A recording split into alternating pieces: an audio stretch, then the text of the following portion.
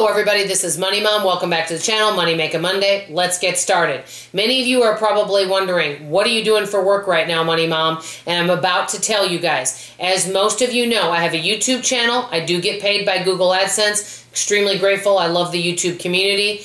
Number two, I schedule as an independent contractor for two mystery shopping companies. And number three, I do product demonstrations where I pass out samples. Well, First, we'll start with YouTube. I'm very blessed to say that is still going on. The product demonstrations right now, as you know, we're not passing out food samples, so that is not going on. And most mystery shopping, not all of it, but much of it is on hold. So this is what I'm doing right now to make money.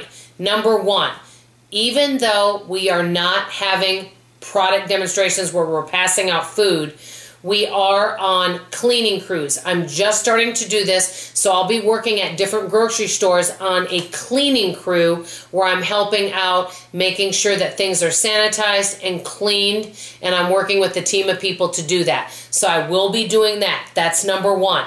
And it'll be depend on what days I'm doing that. Um, but some days they have work, some days they may not. And there's all of us may be wanting work, so they're sharing it amongst us. Number two, I do have one small scheduling project with one of the mystery shopping companies that I'll be doing for the month of April, so I'm grateful to have that.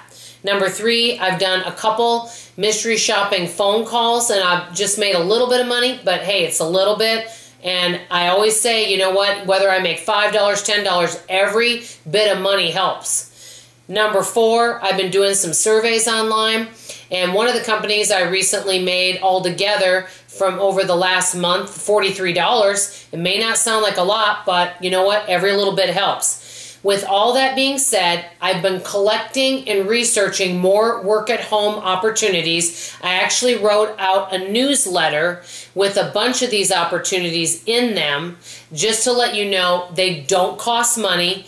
That's number one. Number two, always do your own research on anything. Whether I give you the information or someone else, research everything before you sign up with anything. That way you feel comfortable with it. And I think it's really prudent to do that. So if any of you are interested in any work at home type information, if you send me an email, I'll send you the information that I have collected. And then you can see if any of it may be a good fit for you.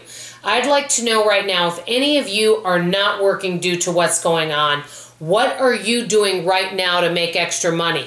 Maybe you could list some ideas below that might be helpful to someone else. This is Money Mom signing off, and as always, I love you, and I'll see you tomorrow. Take care. Bye bye.